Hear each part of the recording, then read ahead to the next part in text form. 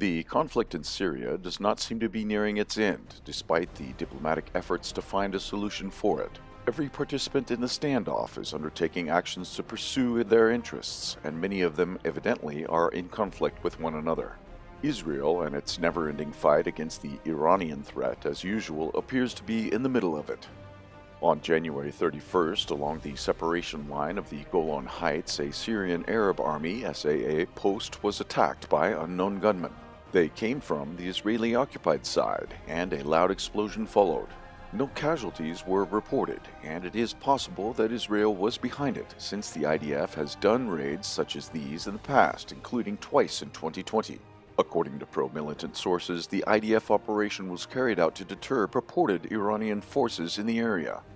Israeli media reported that several months ago that in Damascus itself, an unnamed Western intelligence agency carried out a raid on the headquarters of Iran's Quds Force Unit 840. While the report remains questionable at minimum, it can be considered as a direct threat to Tehran and Damascus. In northeast Syria, a severe conflict appears to be in the making, as U.S. President Joe Biden seems to want an extremely negative outward scenario in order to reverse the limited involvement approach of Donald Trump.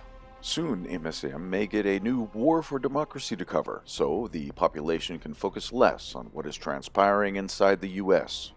The U.S. supported Kurdish Syrian Democratic Forces, SDF, appear to be the prime candidates to lead the situation towards critical mass. Hillary Clinton and her daughter Chelsea are already moving with propaganda preparations, a Kurdish soap opera focused on the lives and struggle of Kurdish women who fought not only against ISIS but also fought for their liberty and their rights. The Kurdish freedom fighters also fight against Turkey and reject a political settlement with Damascus. Still, the SDF is now emboldened. It has support from the US and little else in the region, except the poison hand of friendship from Israel. If all hell breaks loose, however, it is dubious whether or not Tel Aviv would come running to help. This, however, does not stop the Kurdish leadership from employing harsh approaches to suppress local discontent with its anti Syrian approaches. Just recently in Al Hasaka, a pro government protest was democratically put down by live fire and killings by the SDF's freedom fighters. It is an open secret that the SDF controlled area is in fact run by the Kurdistan Workers' Party, PKK, shadow government, and the SDF itself is full of PKK members, including the SDF commander in chief himself. This creates conditions for a continuous fight against the Turkish forces and provides additional motivation for the SDF rejection of a political settlement with the Damascus government. The Kurdish leaders are happy to receive weapons and funds from the U.S. in exchange for loyalty to the project of the dismantling of the Syrian state. Emboldened by the supposed support from the U.S. and the recent large deployments that have been carried out, the SDF and company have recently become more active in their attempts to hinder the interests of Damascus, Russia, and Iran. The SDF's mismanagement of the situation is further evidenced by the permanent tensions with Arab locals in the controlled areas and the deep humanitarian problems in SDF run camps for displaced persons, including those affiliated with ISIS members. There are about 27,000 children in the SDF run Al Hol camp, where families of ISIS members and supporters are held.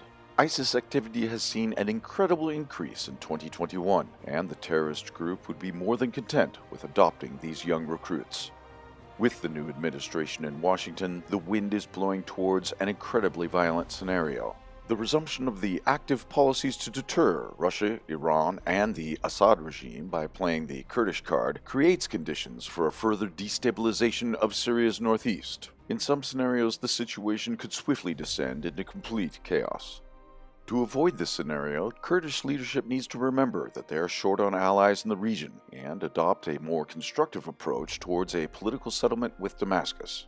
Otherwise, it is highly likely that dark clouds are soon to come on the horizon, and the SDF card will once again become a small coin in the big Middle Eastern game.